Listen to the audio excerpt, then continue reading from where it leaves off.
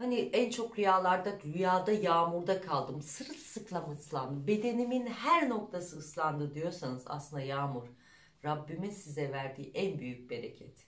Her noktanız ıslanıyorsa aile, anne, baba, kardeş ya da e, eşten gelecek büyük bir malı, yapacağınız işte çok büyük bir marka olacağınız ya da işlerinizle çok önemli isimlere sahip olacağınızı gösterir. O yüzden rüyada keşke herkes yağmurun altında ıslasa bolluk, bereket ve merhametli ve vicdanlı bir insan olduğunuzu gösterir. Genelde bazı insanlar der ki hastalık asla öyle bir şey yok. Eğer vücudunuzda kanser bile varsa yağmurda sırılsıklam kaldıysanız Rabbim şifanızı bedeninize vermiş olarak gösteriyor.